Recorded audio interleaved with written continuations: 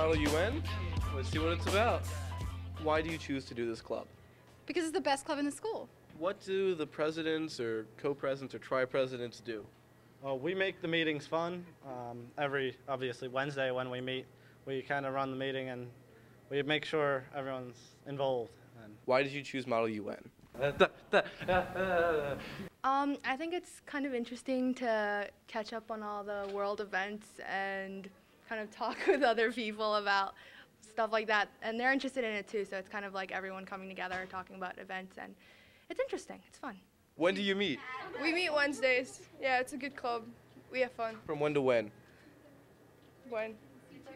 Uh, it's a pretty chill club. We're all family. It's uh, you know, good learning experience. 2:30 to 3 on Wednesdays. C250.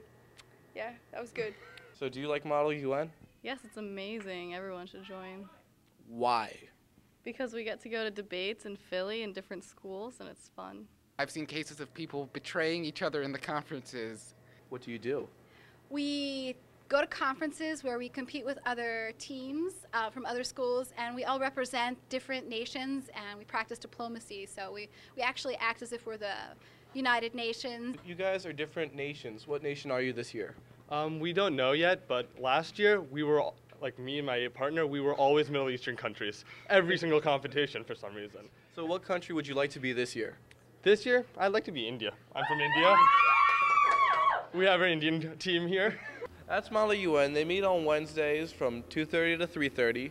It's all about politics. So if you would like a job as that, or if you're interested in it, you can go to it. It's your kind of place. It's for all grades, and if you're lucky, you might go to their debates and stuff.